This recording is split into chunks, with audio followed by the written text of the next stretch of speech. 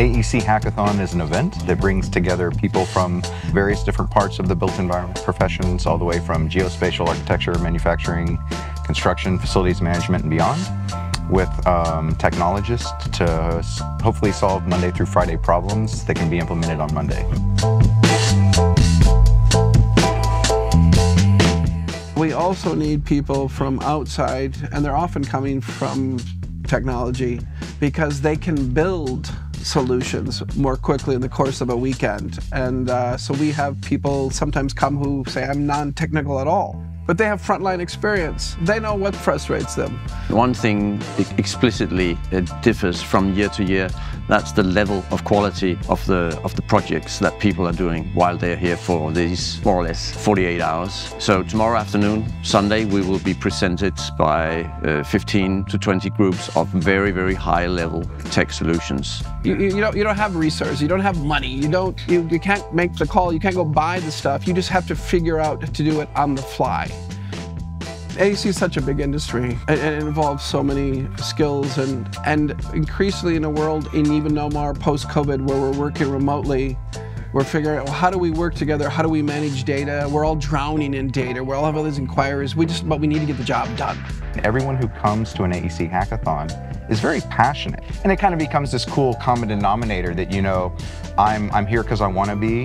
And when you know that everyone else is like that, that's when I think collaboration and the magic really happens. And of course, yeah, you have to adapt. You have to, to know your people. If it requires more structure, then you have to add more structure, more planning. If it's a little bit more laid back, then you have to, to apply that and, and respect that.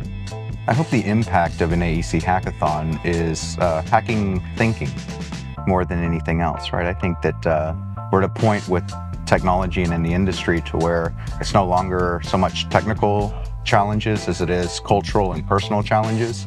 So for me, it really is about hacking thinking and how we approach uh, systems, processes, and even how we collaborate.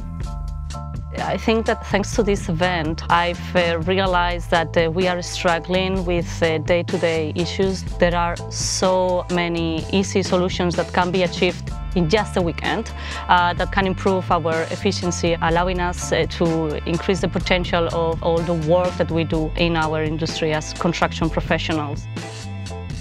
If you're considering coming to one of these events, you're like, what the heck is a hackathon in construction?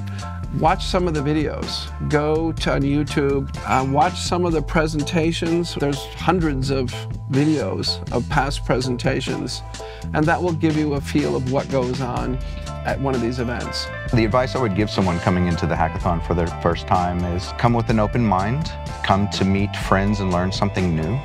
I think what's fun is even, uh, you know, most, most people do get on teams. But even if you don't, if you want to learn a new skill or, or, something like that, there's plenty of folks here that are open to help you and things like that. So, so that's what's nice is I would just say come to learn, have fun, engage, push yourself, stress yourself out just a little, you know, and, and just be open for growth.